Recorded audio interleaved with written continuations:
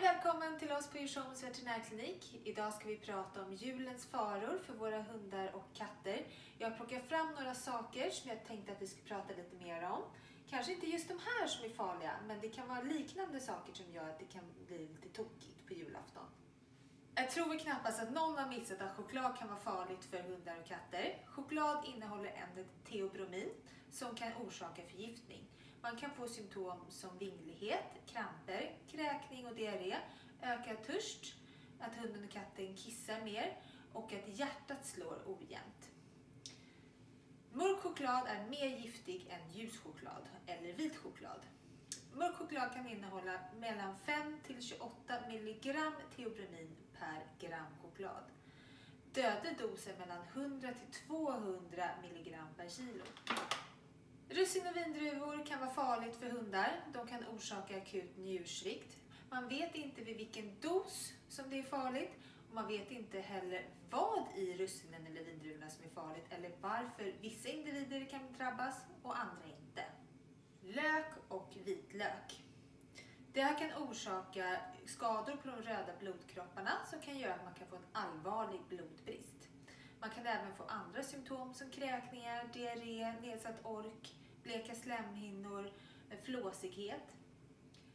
Och kom även ihåg att även blomlökar kan vara farliga. Glitter och presentsnören, det här är ju något av det roligaste tycker katterna. Men det här kan vara jättefarligt om man råkar sätta i sig det så att det fastnar i tarmen. Det som kan hända då är att tarmen trär upp sig på de här avlånga sakerna och då måste man akut opereras.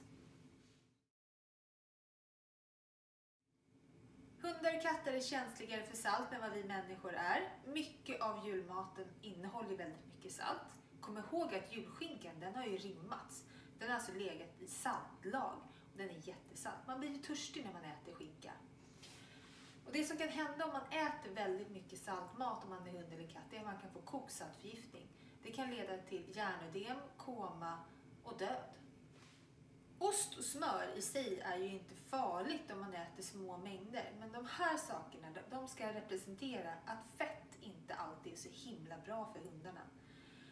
Hundar har en bukspottkörtel som är väldigt känslig för fett. Och det som kan hända om man äter väldigt mycket fett vid ett tillfälle är att bukspottkörteln blir inflammerad och den börjar brytas ner och det kan bli jätteallvarligt.